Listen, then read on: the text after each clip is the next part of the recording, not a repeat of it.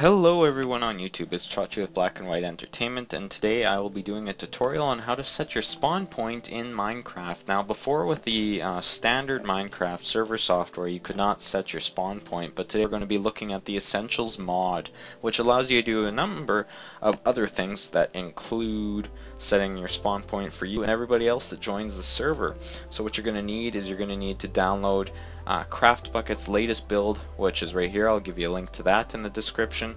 Um, you're going to need to download uh, the Essentials Core, which is a zip file. Just put that on your desktop right beside your uh, Bukkit.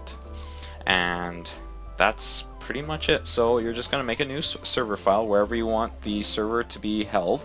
And you're going to put your CraftBucket file inside of that empty folder. Once you've got that in there, you're going to launch that um, executable jar file. And um, it's going to generate all these different files here. And we're just going to leave that as it is.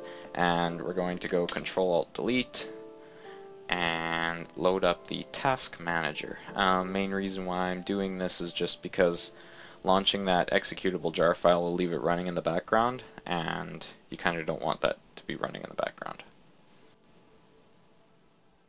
Here's in your processes java.exe32 and process there.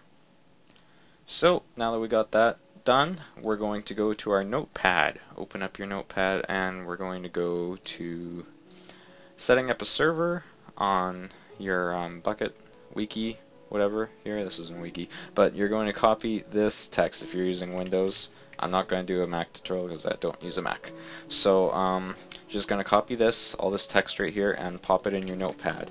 And now, what we're going to do, if you're running 64-bit, which you can find out by going Start, right-clicking on Computer, and going to Properties, um, if you're running 64-bit, you're going to need to change this Program Files text right here. If you're running 32-bit, just leave it as it is. But for me, I'm running 64, so I'm going to go like this. Oh, no, that was right. Times 86, and there. So program files times 86 in parentheses, I guess is what it's called. And then we're going to go to our craft craftbukkit.jar and we're going to copy the name that they've just their most recent name here, which is going to be always posted right up at the top there. Copy that and replace this craft craftbukkit.jar with that one we copied from the page. And that's going to make sure it's reading the right um, program that we just downloaded. Because if you download the newest program you're going to have to put in the newest version type into your notepad. So we're going to hit save save that. We're just to I'm just going to put that on my desktop for now. We're going to type in run capital letters dot um, bat as it says at the bottom of the other page right here hit save. See it says save the document as run.bat not as a txt there's our run.bat, so cut it, put it into our server folder here, anywhere really, and launch it. And it'll open up this window. Now I know it's very, very tempting. Yeah, allow access. It's very, very, um, not tempting, uh, disheartening, I guess, when you see this black window pop up and you're like, oh, this sucks, it's too hard. But, um, this isn't hard. I thought it was going to be super difficult to learn, but you won't need to do much. Just think of this as a regular Minecraft server um, window. So, now while this is preparing the spawn area, we're going to open up our essentials. And we're going to copy all of these and put them into our plugins folder here. Copy paste, there they are. Done. Alright, perfect. So now now that we have this black window open, um, you're going to make sure you need to type in stop and hit enter. Not, don't close it because closing it will screw it up. So you're going to type in stop, hit enter, and it'll save it. When it's done, press any key, it'll close it. And then you go back to your server here, launch our run file again, and it'll load it all up.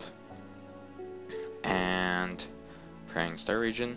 And let's see essentials there all of our mods are loaded in. This is how you do with any mod or any plugin sorry into your Bukkit servers. You just download these uh, executable jar files and you put it in your plugin folder and you can do that with anything so now that we got that launched I'm going to turn on my Minecraft here and I'm going to show you how to do the set spawn command There we go. It's a little laggy today, but hopefully it won't be too bad. You have no new mail. That's one of the features that comes with the Essentials mod. So, as you can all see, I spawned right under this tree sort of area.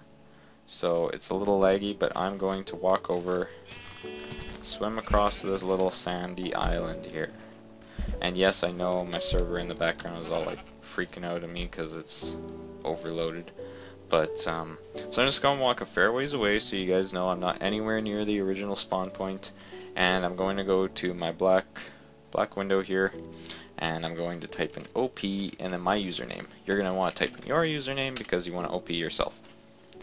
So, now that we've got that, I'm going to type in set spawn. Oh, my bad spelling. Set spawn, and there. Spawn location set for group default.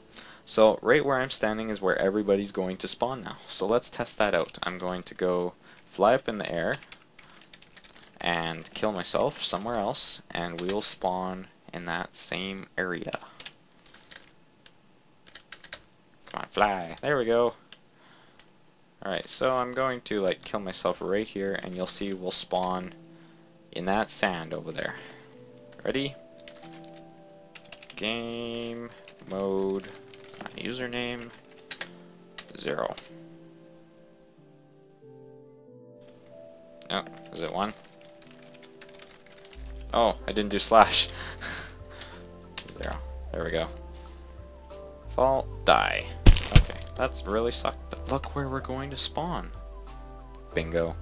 So there you guys go. We've successfully reset our spawn point and for everybody else that will join our server now. Um, if you don't know any uh, how to input your world or anything else into this um, into our server now, go check out my other tutorial on how to do all that. And um, thanks for watching. Hopefully I answered all your questions. Try not to post too many questions in the comment section. I don't know when I'll get to answer them, but I will try my best to. And thank you for watching everybody.